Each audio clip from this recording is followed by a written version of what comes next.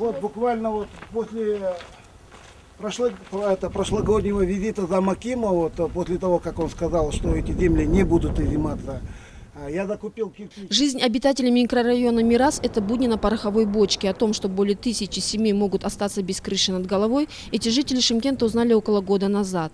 На месте микрорайона власти решили построить новый административный центр. Приостановили стройку, всех рабочих отправили.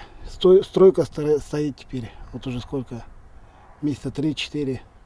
Хотя уже вложено сюда немалые деньги. Генплан-то делится, вот здесь, допустим, будет а, сквер, здесь будет частный сектор, и показывается. Это надо было сделать, э, когда утверждался ге- генплан, не продавать эти земли.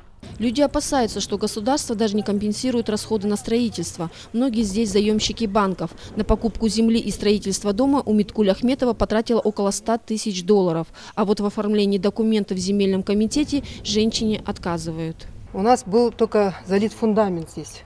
И вот когда нам э, вообще разговор шел, что снос будет, все, вроде бы потом как бы сказали, что остается этот район. Э, С сюда приезжали, извинения просили, что вот так вот произошло, что наш район не будут трогать, вы можете строиться во весь рост. Пошли оформляться там на комиссию, не подписывают.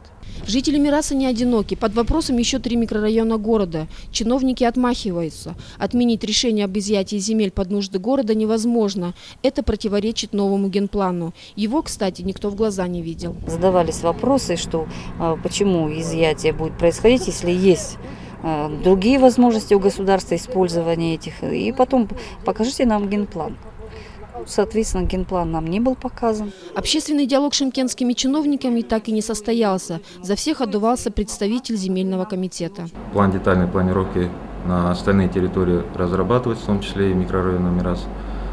По разработке данного плана э, он будет передан отделу земельных отношений, который, соответственно, будет проводить процедуру принудительного отчуждения. Это означает одно – не дадите добро добром, отберем силой. Жители в ответ обещают, что борьба за землю и постройку будет здесь по-южному жаркой.